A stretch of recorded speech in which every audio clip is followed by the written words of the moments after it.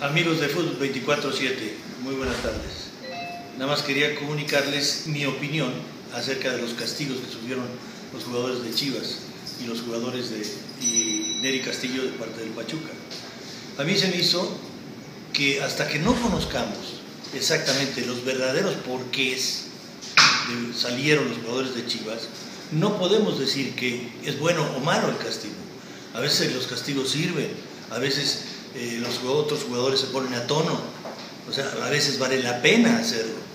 Pero en esta ocasión es muy difícil que él lo diga, el técnico, y va a decir algo, por ejemplo, lo que hoy menciona no es coherente. Sin embargo, no sabemos las reales. Eh, ¿Por qué? No sabemos el por qué real lo, lo sacó. Entonces, no me atrevo a opinar si estuvo bien o estuvo mal. Vamos a ver las consecuencias que provoca esta salida de jugadores. A veces sirve y a veces no sirve. En cuanto a lo de Neri Castillo, se me hizo muy atinado.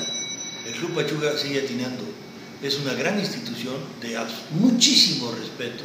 Y obviamente el respeto a un colega, como son las Chivas, porque todos son socios en la Federación Mexicana de Fútbol, yo creo que una amonestación como la que hicieron a su jugador, eh, eso eh, es de, mucha categoría, de mucha altura, de, enseña que entre nosotros no podemos estarnos peleando y sobre todo así. Entonces yo creo que fue acertado lo de Pachuca con lo de Neri Castillo.